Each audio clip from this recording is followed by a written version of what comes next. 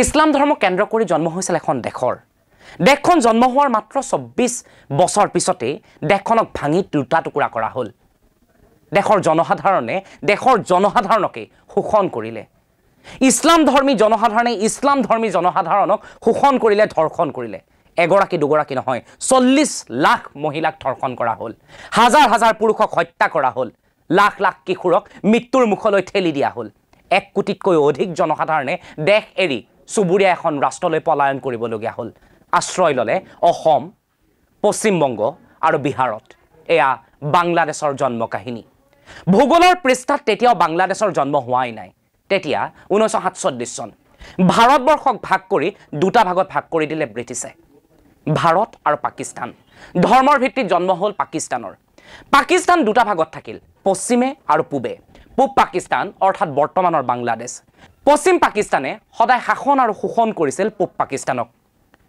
জন্ম হোৱাৰ মাত্ৰ এটা বছৰ পিছতেই অৰ্থাৎ ঊনৈছশ আঠচল্লিছ চনত পাকিস্তানে নিজৰ ৰাষ্ট্ৰীয় ভাষা হিচাপে উৰ্দু গ্ৰহণ কৰিলে। পশ্চিম পাকিস্তানৰ এই সিদ্ধান্তক পূব পাকিস্তানে গ্ৰহণ কৰিব নোৱাৰিলে। পূব পাকিস্তানে ক'লে যে বাংলা ভাষাকো ৰাষ্ট্ৰীয় ভাষা হিচাপে গ্ৰহণ কৰিব লাগে যিহেতু উৰ্দু ভাষা পূব পাকিস্তানত ব্যৱহাৰ কৰা নহয়। কিন্তু পশ্চিম পাকিস্তানে সেই কথা মানি ল'বলৈ নিবিচাৰিলে। যাৰ ফলত ভাষাৰ ভিত্তিত প্ৰথমখন আন্দোলন হ'বলৈ আৰম্ভ কৰিলে। ভাষাৰ ভিত্তিত ৰাষ্ট্ৰ জ্বলিল ভাষাৰ ভিত্তিত ৰাজপথ জ্বলিল ভাষাৰ ভিত্তিত জনসাধাৰণে ৰাজপথলৈ ওলাই আহিল এখন সুকীয়া ৰাষ্ট্ৰৰ দাবী কৰিলে। সেই দাবী দাবী হৈ ৰ'ল। চন ঊনৈছশ সত্তৰ। পাকিস্তানৰ সাধাৰণ নিৰ্বাচন।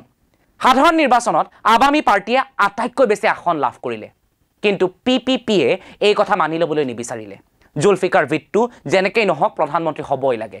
গতিকে শ্বেখ মুজিবুৰক তেওঁ মানি ল'ব নিবিচাৰে। বহুতো আলোচনা চলিল কিন্তু শ্বেখ মুজিবুৰে এই কথা মানি নল'লে। যাৰ বাবে পূব পাকিস্তানত গঠন কৰা হ'ল এটা নতুন বাহিনীৰ। নাম দিয়া হ'ল মুক্তি বাহিনী।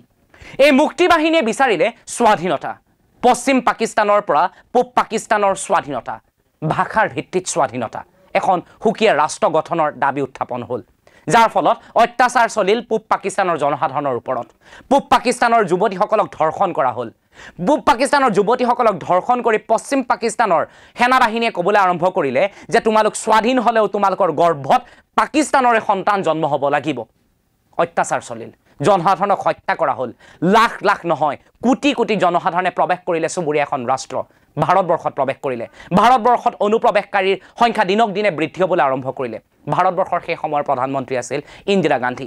ইন্দিৰা গান্ধীয়ে এই সমস্যাক ডাঙৰ সমস্যা হিচাপে গ্ৰহণ কৰিলে। তেওঁ লোকসভাত এই বিষয়টো উত্থাপন কৰিলে আৰু তাৰ পিছতেই ক'লে যে পূব পাকিস্তানৰ বৰ্তমানৰ সমস্যা আমাৰ সমস্যা এয়া ভাৰতবৰ্ষৰ সমস্যা। গতিকে পূব পাকিস্তানৰ সমস্যা সমাধানৰ ক্ষেত্ৰত ভাৰতবৰ্ষই সমাধানৰ সূত্ৰ উলিওৱাত সহায় কৰিব। লগে লগে গঠন কৰা হ'ল মুক্তি বাহিনী। ভাৰতবৰ্ষৰ সহযোগত মুক্তি বাহিনীক ট্ৰেইনিং দিয়া হ'ল। মুক্তি বাহিনীয়ে ট্ৰেইনিং লাভ কৰিলে। তাৰপিছতেই ঊনৈছশ এসত্তৰ চনত পাকিস্তানৰ বিৰুদ্ধে ভাৰতবৰ্ষৰ সেনা আৰু মুক্তি বাহিনীয়ে একলগ হৈ যুদ্ধ কৰিলে। বহু হাজাৰ হাজাৰ লোকৰ মৃত্যু হ'ল। কিন্তু আজিৰ দিনটোতেই ঊনৈছশ এসত্তৰ চনৰ আজিৰ দিনটোতেই অৰ্থাৎ ষোল্ল ডিচেম্বৰ তাৰিখে ভাৰতবৰ্ষই পাকিস্তানৰ বিৰুদ্ধে হোৱা এই ডাঙৰ যুদ্ধখনত জয়লাভ কৰিলে। যাৰ বাবে আজিৰ দিনটোক আমি উদযাপন কৰোঁ বিজয় দিৱস হিচাপে। এই দিনটোতেই ভাৰতবৰ্ষই খণ্ড বিখণ্ড কৰি তুলিলে পাকিস্তানৰ অহংকাৰ পাকিস্তানৰ ভূমিক। দুটা ভাগত ভাগ কৰি দিয়া হ'ল। আৰু ভূগোলৰ পৃষ্ঠাত এটা নতুন পৃষ্ঠা সংলগ্ন হ'ল নাম দিয়া হ'ল বাংলাদেশ।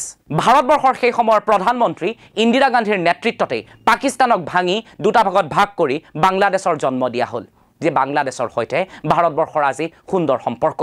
আজি ষোল্ল ডিচেম্বৰ সমগ্ৰ ভাৰতবাসীয়ে উদযাপন কৰিছে বিজয় দিৱস।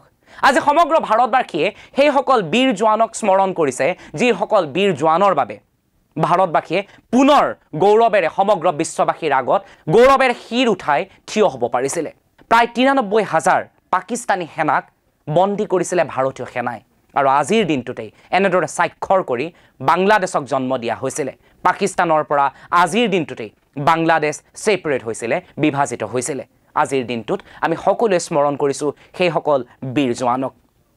এতিয়া কথাটো হ'ল যিখন দেশে ঊনৈছশ এসত্তৰ চনতেই অৰ্থাৎ আজিৰ পৰা ঊনপঞ্চাছ বছৰ আগতেই এখন দেশক ভাঙি টুকুৰা টুকুৰি কৰি দিব পাৰিছিল সেই দেশখনক দুৰ্বল কৰি দিব পাৰিছিল সেই দেশখনৰ সাৰ্বভৌমত্বত আঘাত সানিব পাৰিছিল সেই দেশখনৰ কথা কৈ যদি বৰ্তমানৰ ৰাজনৈতিক নেতাই আমাক বিপথে পৰিচালিত কৰিব বিচাৰে সেই দেশখনৰ ভয় দেখুৱাই যদি আমাৰ ৰাজনৈতিক নেতাই আমাৰ পৰা ভোট আদায় কৰিব বিচাৰে তেনে ৰাজনৈতিক নেতাক এটাই কথা কওঁ আপোনালোকৰ ওপৰত ধিক্কাৰ আমাৰ। কাৰণ আমি ইতিমধ্যে আপোনালোকক দেখুৱাই থৈ দিছোঁ। আমাৰ সেনা বাহিনীয়ে ইতিমধ্যে আপোনালোকক দেখুৱাই থৈ দিছে। ভাৰত সদায় আগত ভাৰত সদায় শ্ৰেষ্ঠ ভাৰত সদায় শক্তিশালী। এই বিজয় দিৱসৰ পুনৰবাৰ আপোনালোকক শুভেচ্ছা জ্ঞাপন কৰি ৰিপৰ্টাৰ অসমৰ ষ্টুডিঅ'ৰ মজিয়াৰ পৰা মই ডাবুৱে লৈছোঁ। বিদায়। ধন্যবাদ।